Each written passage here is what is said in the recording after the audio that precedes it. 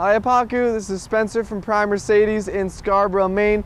Thanks for your inquiry regarding our E43. I have the exact vehicle you specified. This is our 2018 E43 AMG sedan. It comes in a beautiful diamond white metallic. That's a Designo paint.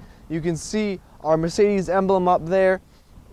Coming along the side are black accents on our wheels. That is a part of the night package. So you'll see the black along the window frames where it's typically chrome, the black on the wheels really pops with the white, gives it a nice contrast, and uh, it gives makes it a really, really sporty, sporty feature. To open up the trunk, all you have to do is hold down on the key fob and the trunk pops right open for you. As you can see, we have our AMG floor mats in there with the red accents. Lots of storage space. The rear seats fold as well. So now let's take a look a little further around the vehicle.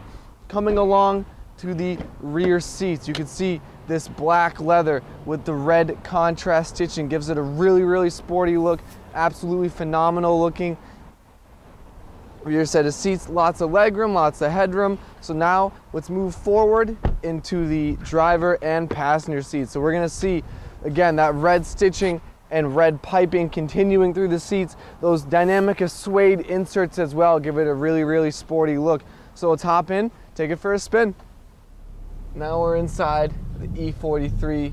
We can take it for a little spin around the dealership here, go over some of the really cool features on this car, some of the things I want to highlight for you and point out in the video. So right away you're going to see this open grain natural wood all the way flowing around the dash. Notice how that dash flows right into the door too. It's a very um, smooth transition from front to side pieces on the interior. Just an absolutely beautiful, beautiful little little piece that Mercedes has created. So Along with that black dash, we have the black leather, like I had said before, with the red contrast stitching, so you can see it inside the steering wheel, along the top of the dash, and the seats as well. It gives it a really, really sporty look, and still keeps it a, very kind of calm and, and, and classic uh, Mercedes kind of look to it as well.